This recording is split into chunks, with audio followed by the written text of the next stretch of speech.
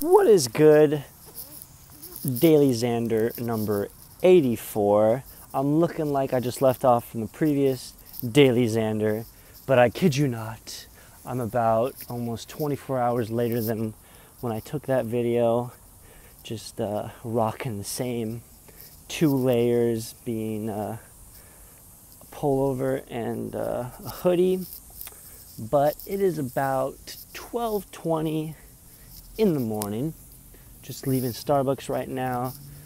Uh, finishing up writing a couple of workouts for later today, I should say, for some clients. Uh, filling out another uh, part time job application and uh, just kind of taking care of some other stuff on top of that. Good solid day at work, able to do four four sessions. I uh, so I did about four of my own training sessions with four individual clients, and then also on top of that, um, assisting around the gym with other clients. So busy day for me. Um, so that's pretty much just it. A working day, which uh, I do. I, I do like uh, just kind of bouncing from one thing to the next. No downtime whatsoever. So staying busy, literally from nine all the way to six o'clock, and then coming back and uh, taking care of some other things, and just being productive.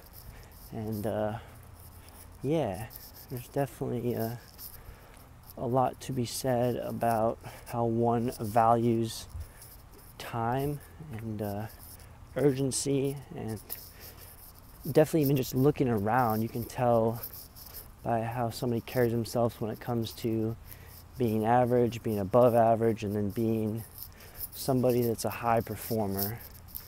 And uh, that's something i would like to strive for. I would say i'm not anywhere near that level but that would be a goal of mine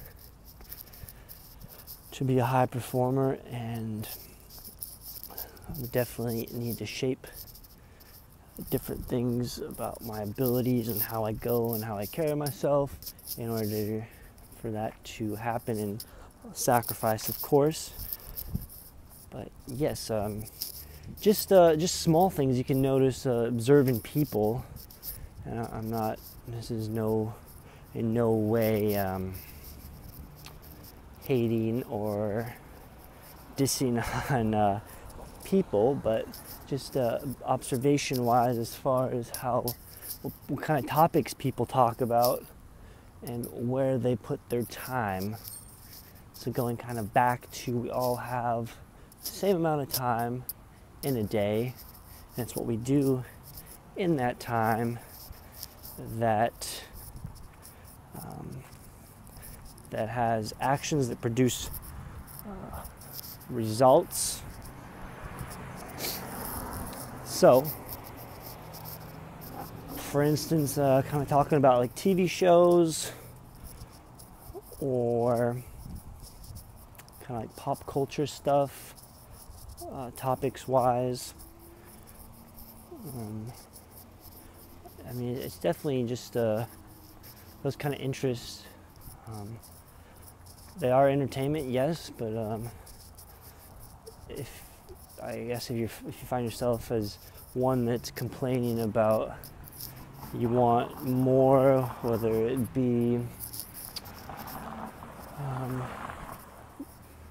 be more successful in like business or other aspects in life, and uh, yet you devote a good portion of your time towards things that really don't produce value.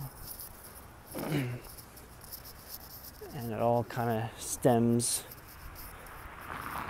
with valuing your time and taking other people's time into account and who you are surrounding yourself with and where you're devoting your time towards other people. Are these other people going to help you towards where you want to go? I really like to say you were the average, and this is what I've heard um, from listening to other speakers, you were the average of the five closest uh, human beings you spent the most time with um, growing up. I don't know if this is an actual proven uh, psychological thing, but I, I, can't remember. But by like, I, I, remember hearing something, but this is coming from uh, more of a performance coach. He, he quoted saying, or I quote him saying something along the lines of, by age seven or eight, kids will have either developed a high level of self esteem or will not have a high level of self esteem by that age. And it's almost like a predictor by that age. You can just say, like, yep, he is or he's not, or she is or she's not. Kind of thing. I don't know if that's the case, but uh, kind of going back to uh, when you're a young age and the five individuals, primarily being your parents and other family members, most likely are going to have a huge impact on what you become, how you go about doing certain activities, going about certain situations, and also your friends. You show me your friends, I'll show you your future, kind of thing. I think uh, I'm a big believer in that. If you want to goal wise, and I know I am a big believer, but I don't feel like I don't really do it at all. Although, yeah, I mean, I should say, I, I mean, I definitely surround myself among positive people. I don't really hang around too much negativity. I don't hang around people for the most part that I'm not going to get some form of value or benefit from. And I don't mean I, I don't mean to say like I use people. I don't def I don't use people, but um, I just like to put myself in situations where I can uh, get value from, positive value. But yeah, going back to I don't, I don't really I know I say these things, but I feel like a lot of times like I don't really follow up on the action. And it's just amazing. In life there's so many uh, so many different things. You could focus your time your energy your resources uh, your mental cognitive ram as i like to call it that you have. So kind of making that analogy or comparison that you only have so much space such as like what a computer has and your brain has the same thing. You can only have so much space to take in information and then um, regurgitate that information or use it up on other things. But, anyways, I'm to cut it off there for my daily Xander, number 84, daily thought walk back to the apartment, number 130. This has been a solid going on almost nine minutes of a thought rant. And yeah, quick update for this weekend. I'm to go golfing, whether it be a full round. Probably not. It'll be more of a driving range session, and we're gonna really work on my chipping game. As last week when I played 18 holes, I struggled to get the ball up in the air.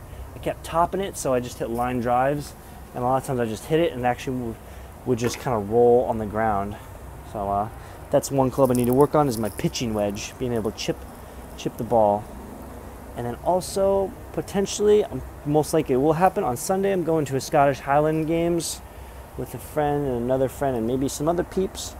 Um, so I'll definitely get some footage of that if I do go. Other than that, it's supposed to be good weather on Saturday and Sunday. So I'm definitely going to be soaking up the sun, uh, maintaining that blonde hair, uh, getting some solid vitamin D, and also it's super moon right now. But or not super moon, it's a whole it's a full moon. It's a full moon tonight and I say that and I can't even see the moon where I'm at. You can see the stars or whatever, or at least I can. I don't know if you can really see that footage. But maybe tomorrow, nah, I won't have space on my phone. I was to say I could show you the moon tomorrow morning, but I won't have space on my phone. Anyways, it's been the Daily Xander number 84. Pleasure as always. Peace, love, unity, and respect. Keep it pithy, my fellow primate human brothers. Peace.